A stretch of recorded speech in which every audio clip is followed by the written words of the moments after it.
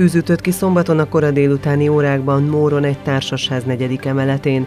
Egy lakás teljesen, kettő pedig részlegesen kiégett, miután átterjedtek a lángok. A tűzesethez a Székesfehérvári és a Kisbéri hivatásos, a Móri önkormányzati, valamint a Bodajki önkéntes tűzoltók érkeztek, akik a katasztrófavédelmi műveleti szolgálat irányításával megfékezték a tüzet. A munkálatok idejére három lépcsőházból mintegy 80 embernek kellett elhagynia otthonát. A lakók nagy robbanásra lettek figyelmesek, majd észlelték a füstöt és a felcsapó lángokat. A tűz keletkezésének okát még vizsgálják. Úgy tudjuk, hogy egy gáztűzhelyen felejtett serpenyőben csaptak fel a lángok. Információink szerint az érintett lakásban ketten megsérültek, egyiküket a mentők kórházba szállították. Nyolc tűzoltóautóval ebből egy létrászerrel érkeztünk a helyszínre. Az, a kollégáim nagyon gyorsan meg tudták fékezni a tüzet, és a tűzoltók kiérkezése előtt a bent lévő lépcsőházban lakó, illetve lakásban lakó személyek elhagyták a lakásokat.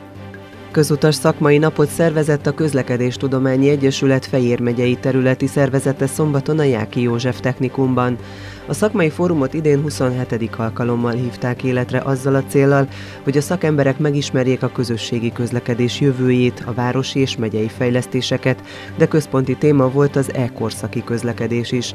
Az eseményen részt vett Mészáros Attila alpolgármester is, aki azt mondta, ma a nagyvárosok két legnagyobb, szorosan összefüggő problémája a közlekedés és a klímavédelem, ezért a város sok olyan fejlesztést tervez, melyek a közlekedők mindennapjait megkönnyíthetik.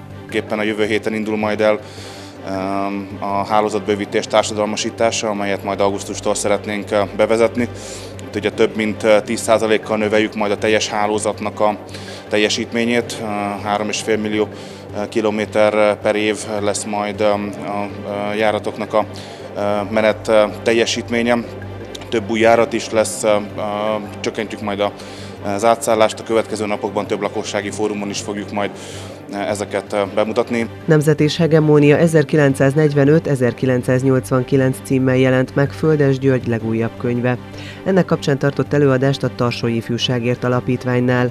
A kötet azt tárgyalja, hogy mit is kezd magával a társadalom a különböző élethelyzetekben, történelmi korszakokban. Az előző rendszerben, tehát az államszocializmus idején, hogy nézett ki a nemzeti kérdés a történelemben, mit kezdett vele a az akkori uralkodó politikai elit hogyan próbált a, a társadalmat a maga oldalára vonni azáltal, hogy előbb-utóbb 1956 után egyre inkább érezte, hogy nem jött egy lépésre, kettőre, nem jut dűlőre a magyar társadalma, hogyha a nemzeti kérdést nem veszik komolyan, és ennek a történetét próbáltam ebben a könyvben megírni. Rangos borversenyt rendeztek Kápolnásnyéken, a megmérettetésen a Velencei Tavi Szent Benediktus borlovagrend borászai mellett a Noé-hegyi Szent István borlovagrend és az Adonyi Dunamenti Szent Orbán borrend mutatták be nemes nedűiket. Turcsányi Sándorné a vendéglátó borrend nagymestere fontos lépcsőnek tartja, hogy a járvány után újra találkozhattak a borászatok képviselői, és megelégedéssel nyugtázta, hogy kiváló minőségű borokat díjazhatott a szakértő bíráló bizottság. Tavaly elhatároztuk a Székesfehérvári Noé-hegyi borrendel, en nagymesterével, elnökével, hogy mi szeretnénk egy közös borversenyt tartani, mert minél több bort tudunk bemutatni és bírálni, annál minőségibb versenyt tudunk majd biztosítani. És most már bevonódott a Velencei Tavi hegyközség is, és így egy kiszélesített borversenyt tudunk most majd bemutatni. A Szent István Művelődési Ház és a Vörös Marti Társaság közös szervezésében vehették kézbe az irodalombarátok Bakonyi István arcképvázlat Bence Lajosról című kismonográfiáját. A kötetet Jánosi Zoltán irodalomtörténész a Magyar Napló főszerkesztője mutatta be. Bakonyi István könyvéből megismerhetjük a Szlovéniában élő költő, író, irodalomtörténész sokszínű életművét, amely egyben hűképet fest a kisebbségben élő magyar népcsoport történelméről és főbb kulturális törekvéseiről, valamint a kisebbségi sors nehézségeiről is. A muravidéki szlovéniai magyar költészet számomra első számú képviselőjét meg kéne mutatni egy kis monográfiában. Ráadásul nem csak költőről van szó, egy József Attila költőről, hanem egy olyan tudós emberről is, aki a, a szlovéniai magyarság történetével és irodalmával is igen sokat foglalkozott. Sokan nekiálltam ennek a munkának, aminek íme itt van az eredmény, és örülök neki, hogy a Magyar Napló kiadó Jánosi Szoltán irodalomtörténész vezetésével erre vevő volt.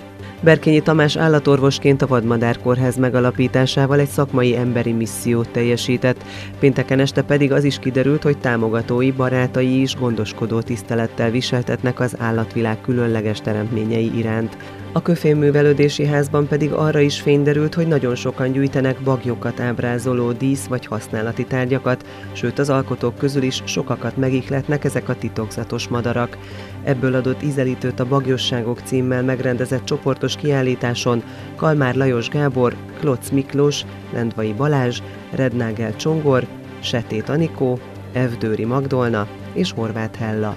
Az alkotók akik körülöttünk vannak a Vadmadár kórház körül, szerettek bele és egyre inkább a bagyokat mutatták meg, a bagyokról készültek a fotók, a festmények, a rajzok.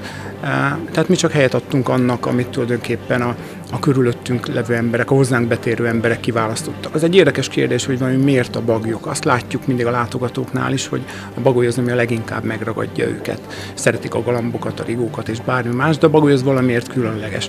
A sötétsége, sötétségben élés, az éjszakai madár mi volt a, a misztikuma, a különlegessége miatt.